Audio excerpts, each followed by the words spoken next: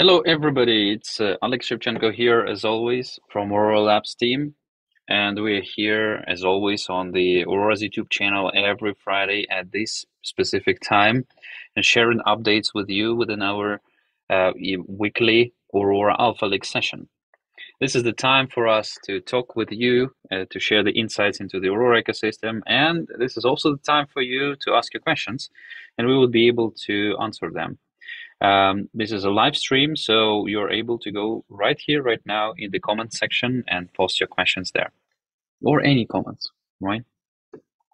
And we would like to start with the pretty big uh, event that was happening during this week. Actually, yesterday, Pitch Talk was organizing a specific Aurora demo day where many people from uh, different projects were coming and showcasing their um, uh, the, the, the tech that they have been building uh, and I was also privileged to be on that particular event. I was uh, talking a little bit about the Aurora Cloud and the new functionality of the Aurora Cloud available there. Um, as always with any demos, there were some minor things that were not going great. Uh, there was uh, the Explorer was not loaded in there, but uh, but we quickly fixed the the problem. And now, in case you're going to go through the demo on the auroracloud.dev website, you're going to see all of your transactions available in the Explorer. Besides that, there was a pretty long setup of different projects, right? And I would like to pay your attention uh, to one particular thing. Obviously, it is available on the YouTube, on the Pitch Talks YouTube. Um, and uh, one particular thing that was interesting there, it was a roundtable that was themed with real world assets and how these assets can be used in conjunction with the blockchain. So, together with Mikita from New Tribe Capital, we have been talking uh, about how this tokenization of real world assets is able to change many, many different things. This is a pretty insightful um, conversation. This is not something that you usually hear from me or from from kind of other blockchain people. This is a point of view on the blockchain a little bit from the outside, from the Web2 perspective.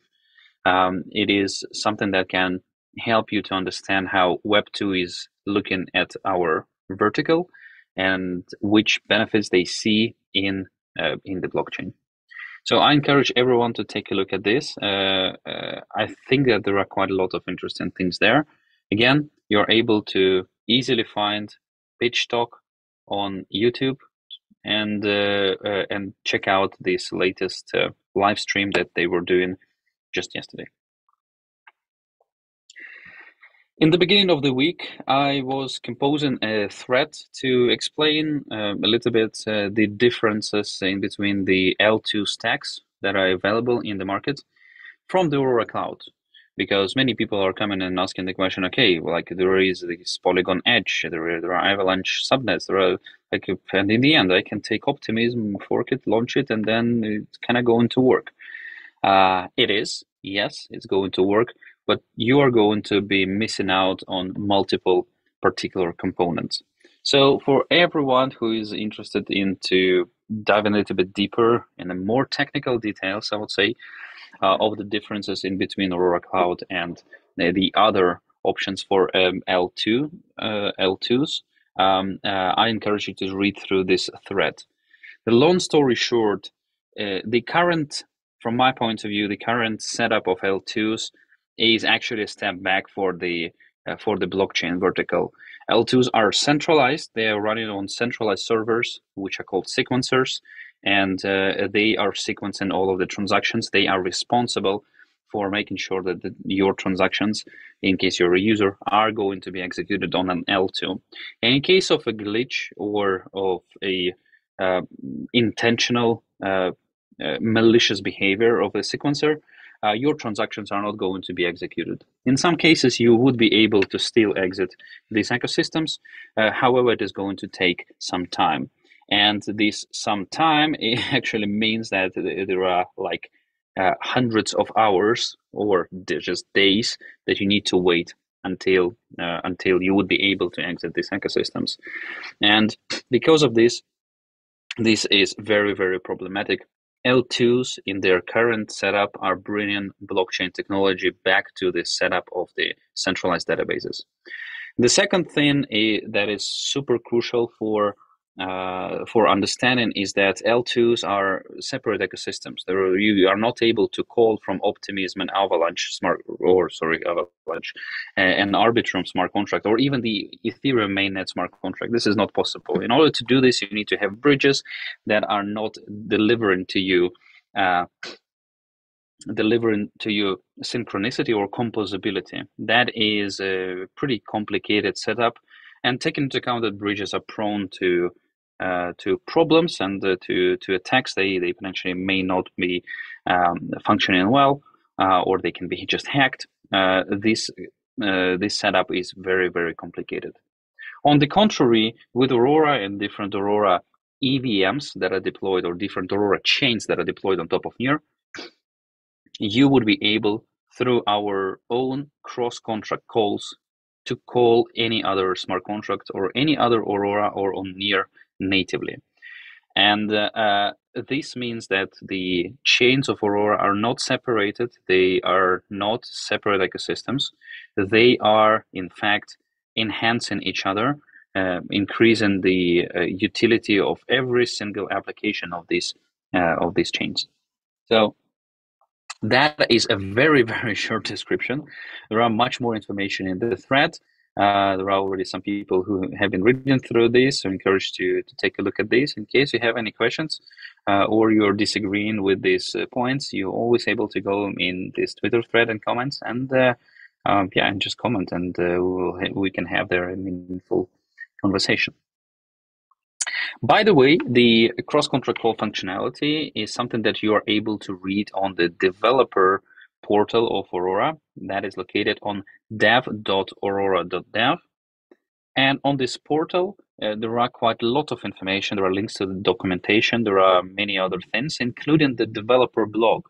And uh, Alexei Krasinsky has been writing this week in this uh, developer blog a an article, the technical article about spinning up your own Aurora node. So for some of the use cases and some of the partners who are working with Aurora, it is pretty important to run their own Aurora nodes. Uh, so they have been asking how to do this, right? And uh, uh, there is obviously a open RPC that is available for the public RPC that is available for everyone. It is located on mainnet.aurora.dev. This is the endpoint that you're usually querying in case you are working with Aurora. For example, in case you, you're a user of Aurora Plus, then through Aurora Plus, it installs this endpoint as a default endpoint for your MetaMask. Now, however, uh, in such applications that are usually heavy reliant on the uh, blockchain data, they're tending to run their own Aurora node, right?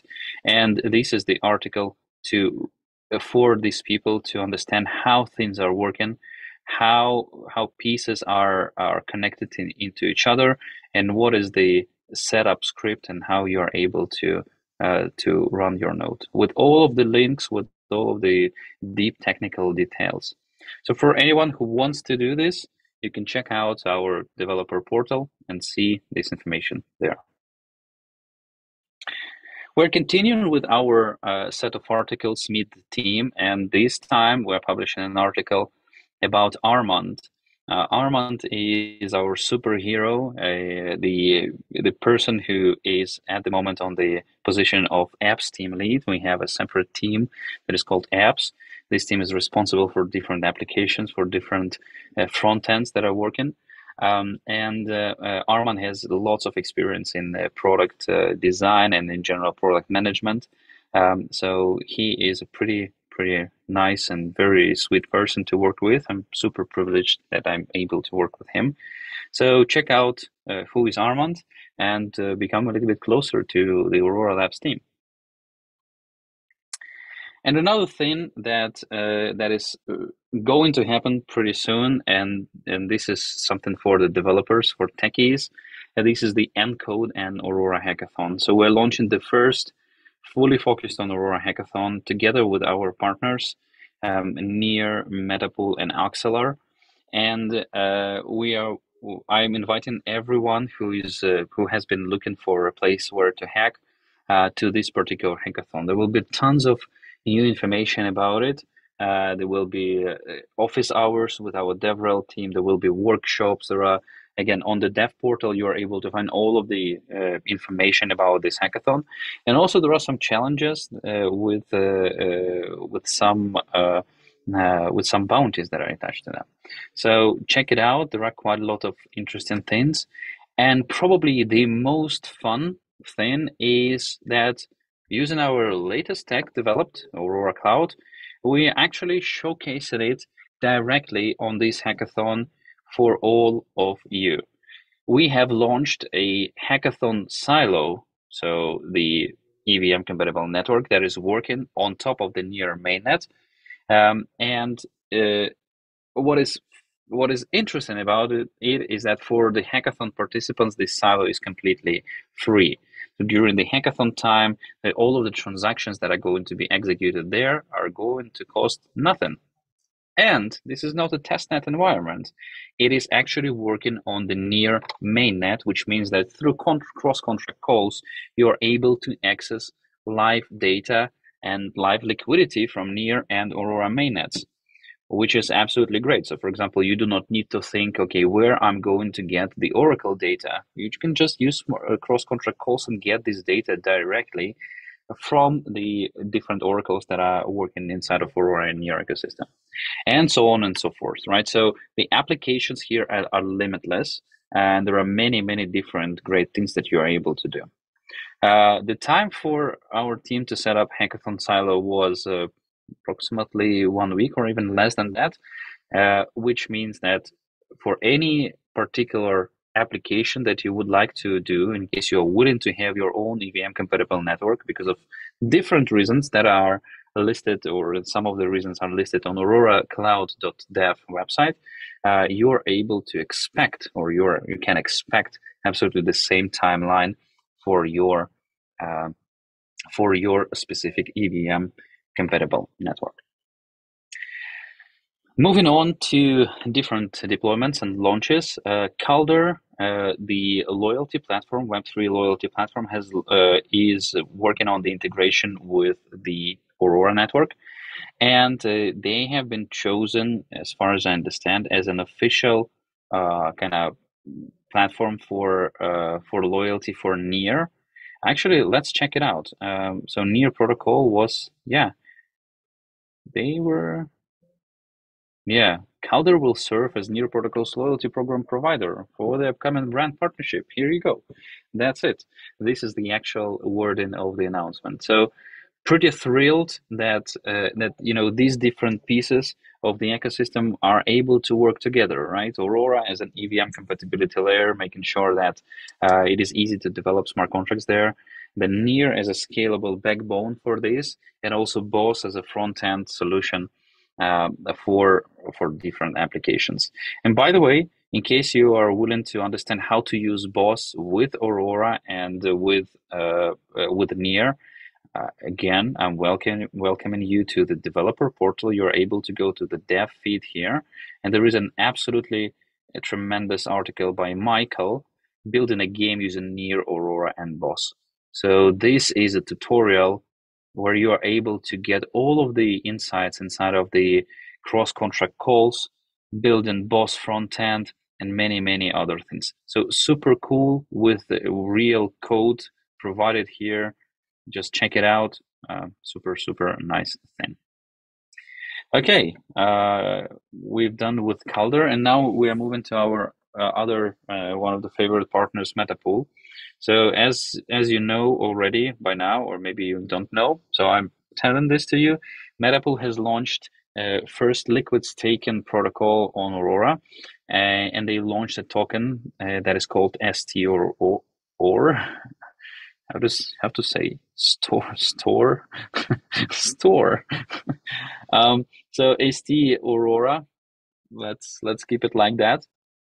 Um, and this token represents this staked Aurora, right? So through Metapool, you're able to stake these Aurora tokens.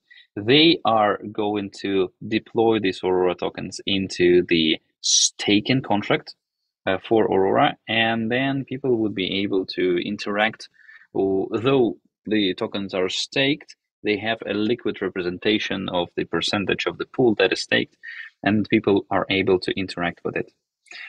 This solution improves the efficiency of the capital, makes things uh, makes your capital more liquid. So that's a pretty typical and very straightforward thing to do. So check out uh, Metapool's uh, new article on their uh, Medium about the. Uh, oh, sorry, it's not Medium. Sorry, on their website, um, and uh, about how this thing is working, what are the risks uh, there, and so on. Do your own research. Not uh, not pushing you to uh, to buy anything. very and actually actually I was in my thread here. I was I was writing to everybody that please, please, uh, please don't be misled by marketing. Do your own research. Right? This is super, super important for everybody. Yeah, and the ST Aurora, uh, but I think that ST Aurora is something worth to check out.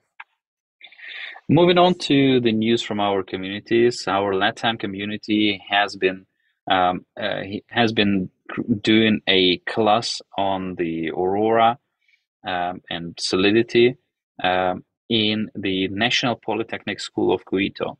So it is it is absolutely tremendous to see a Latam community being so active.